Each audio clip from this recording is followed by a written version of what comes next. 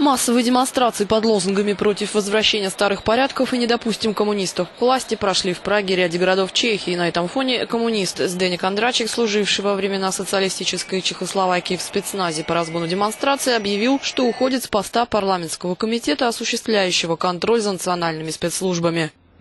После падения коммунизма в Чехии впервые на такую высокую должность был избран член коммунистической партии. В столице в митинге против избрания Андрачика приняли участие свыше 10 тысяч человек. Манифестанты, среди которых преобладала молодежь, призвали к отставке премьер-министра Андрея Бабиша. Сденик Андрачик был избран главой комитета в минувшую пятницу с третьей попыткой после трех месяцев обсуждений. Кроме коммунистов, за голосовали представители правящего правоцентристского движения АНО, располагающие крупнейшей депутатской фракцией.